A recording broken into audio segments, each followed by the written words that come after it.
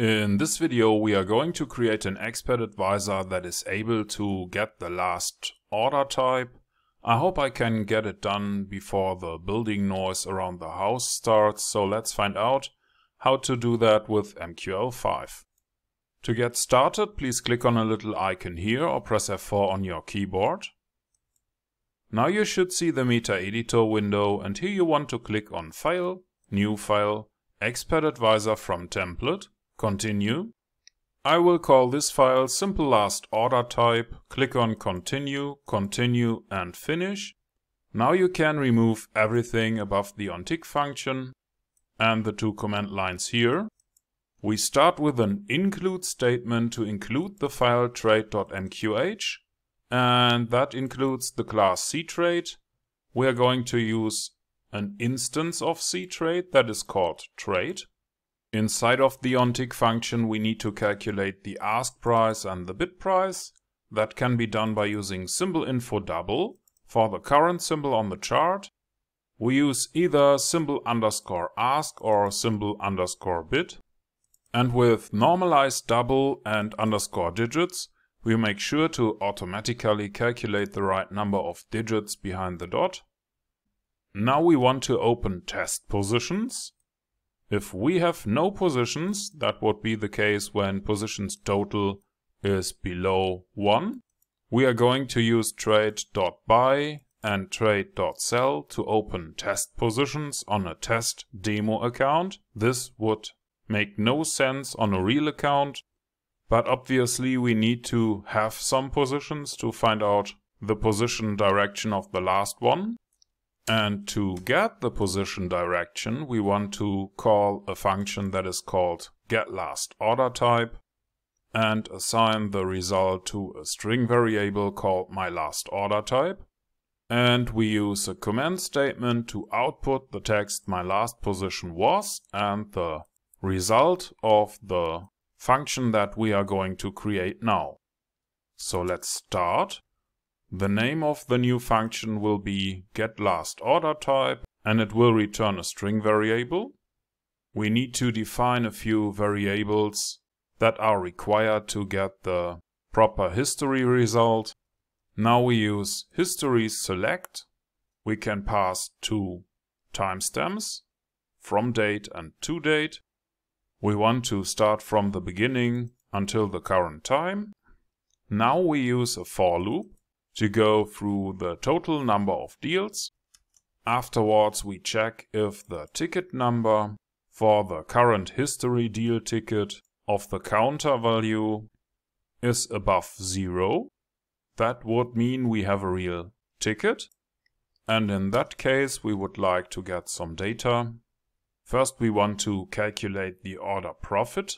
That is done by using history deal get double for the current ticket number and we use deal underscore profit.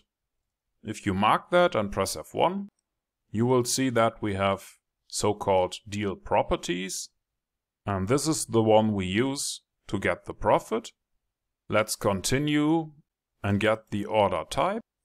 That is done by using history deal get integer for the current ticket number and this time we use deal underscore type.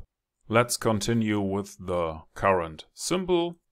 We use history deal get string for the current ticket number to get the deal symbol. And then we continue and use history deal get integer for the current ticket number to get the deal entry. Let's check if the current symbol on the chart equals the symbol of the deal. And of course, if the deal entry is 1, that would mean that the order was closed.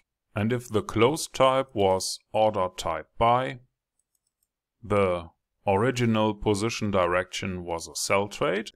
Otherwise, if the closed type was order type sell, the original position direction was a buy trade. Let's assign the order profit, the ticket number and the position direction to our string variable called myResult. Now we close the loops and finally we return our result to the main module. So far so good. If this was too fast for you, or if you have no idea what all the code here does, maybe you want to watch one of the former starter videos, or maybe even the premium course on our website might be interesting for you. This once again was a suggestion of a premium course member, and if you are already a premium course member and have an idea for a video like this one, just let me know. For now, please click on the compile button or press F7 on your keyboard.